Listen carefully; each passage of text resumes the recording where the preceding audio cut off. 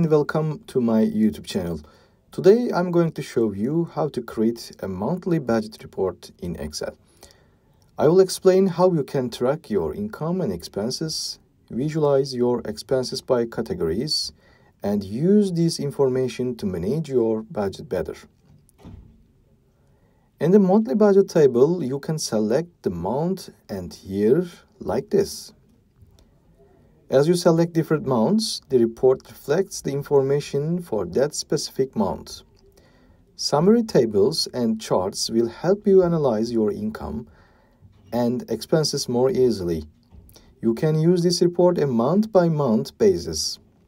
As you add in entires to the income and expenses page, they will automatically be reflected in the report.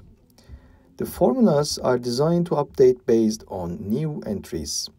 For example, let's add, let's add an additional income entry for June. I will enter additional income 2 on the monthly budget page. Then I will go to the income page and select the new income. As you can see, the new entry is automatically listed in our income page. Now I'm entering the date. Next, I will input the estimated and actual amounts. Now we can go back to the monthly budget page. When we select June, you can see that the additional income entry has been added to our table. Similarly, expense categories are also selected from a list like this. You can also add a new categories from the main page. This way, you can reflect different sources in your table. Before we dive into the details of the project, you can access this template from the description box below. I will share the link there, so let's continue with the video and take a closer look at how, the, how to create it. You can view your report on a single page by using the full screen mode. If you want to make edits, you can show the ribbon. First, I will show you how to enter your income and expenses into the Excel table. Our first page contains the income table. Let's open our blank template. Under the income heading, we have the following columns category, date, estimated, and actual. Let's take a look at how to enter data here. First, we need to create a list selection to enter data under the income headings. We will get this form we will get this from the main page. Let's select the cells then go to the Data tab and choose Data Validation. Here, I will select List and go to the Monthly Budget page to choose the categories from the income table. I'm also selecting the empty cells so we can add entries later. Now, I will click OK. As you can see, we can now enter data in all rows.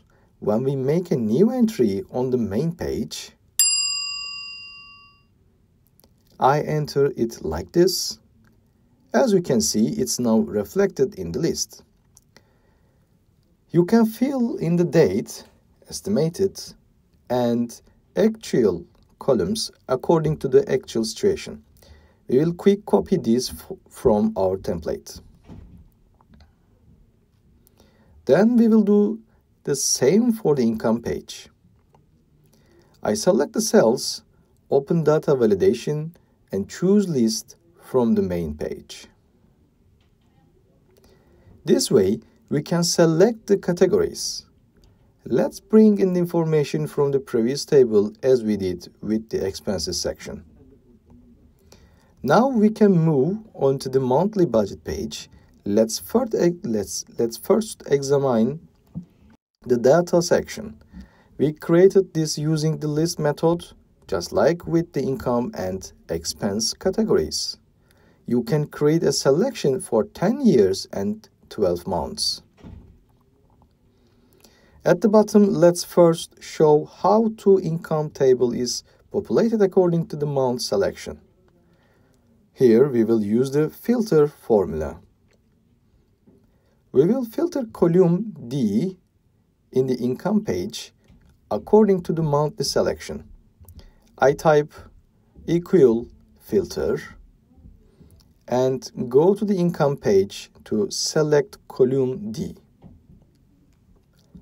I adjust it as column D.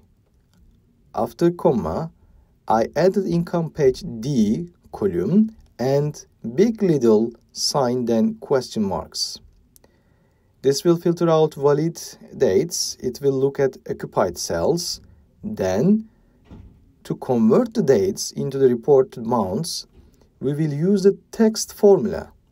We have covered the filter and text formulas in our previous videos or shorts. For more detailed information, you can check out those videos. I type text. I select column D from the income page again and fix it. After the comma, I want to find the months as text, so I write 4M in equation question marks and close the parentheses. I type equal J3 and fix it again. Now let's hit enter. As we can see, it brought, it brought in the date values for that month. Now let's drag it to the right to reflect the other headings. This way, we have brought in the other headings as well. Let's do the same for the expense table. I copy the formula from the top row and replace income with expense. Now I hit enter and drag it to the right. As you can see, our values are reflected according to the selection. As you change the month selection, the values automatically update in this way. Our next step is summary table. Here we summarize the total income, expenses and savings for that month. We will see our total savings for the for that month. First, let's go to the estimated expenses cell and type equal sum. I select the, the cells and hit the enter. When I move to the right, the formula will automatically adjust.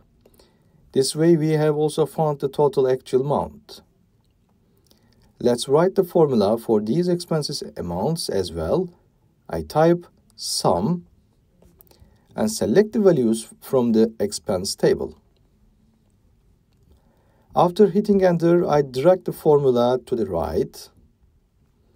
As you can see, we have reflected these values in our summary table.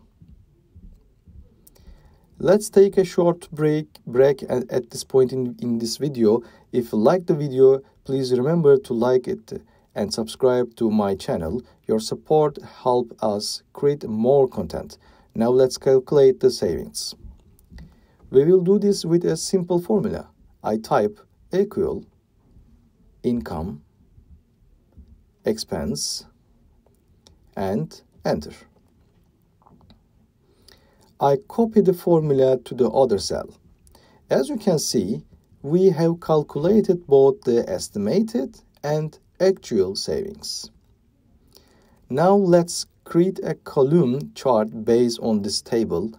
I select the data, go to the Insert tab, and choose Column Chart. Let's remove the title. Let's adjust the position and size of the legend. Also adjust the plot area. This part might take some time because it requires fine tuning. Finding the visual design or colors you want to use may take some time. I will make a quick adjustment. Let's change the column colors to be illustrative. I'm selecting from the color tones of the template I prepared earlier. Lastly, you can format the axis from here. You can change the lower and upper bounds and increase or decrease the intervals. We have created our budget summary charts in this way. Finally, let's also show our expenses by category using a pie chart. We need the actual values for this. In the expense table first, I select the expense categories and then the actual expense values while holding down the CTRL K. I go to the Insert tab, select Charts, and then choose Pie Chart. Let's remove the chart title again. Let's move the legend to the right. Then let's format the data series and adjust the donut hole size. I'm increasing the thickness to make it more pronounced. I have adjust in this way. Now let's adjust the main chart size. Let's plate it into our table. Next, I will go to the each series and adjust the fill colors. I format each one like this. Then I go to the fill colors and make selections in different shades. In our first template, we had different shades of colors. Now I'm choosing different tones of the colors we used again. You can also use hexadecimal codes from color palettes to adjust them to according to the tones you want. Finally, let's adjust the data labels. I only want to show them as percentages here. After selecting the percentage, I format the font to be white and bold. In some color tones, the percentage may not appear clearly. You can adjust the color tones accordingly. You can also enlarge the plot area and adjust the size again. We have now completed our table. You can create your monthly budget reports in this way and even improve this template by adding your own charts and summary tables. In future videos, we will also cover different templates and dashboards. I hope this video has been helpful for you. If you want to see more videos like this, don't forget to mention it in the comment section. You can also visit the Patreon link in the description box to access the ready-made template. This format we have prepared is a budget format that you can use annually. Year values have been added to appear in the table. There is no indication by year in the filter formula. Therefore, you can switch to the new format when you create the next, next year. We have reached the end of the, our video. Thank you for the watching. If you like this video, please don't forget to like it and subscribe to my channel. Also, feel free to leave your feedback or any other Excel related questions in the comments section. See you in the next video. Goodbye.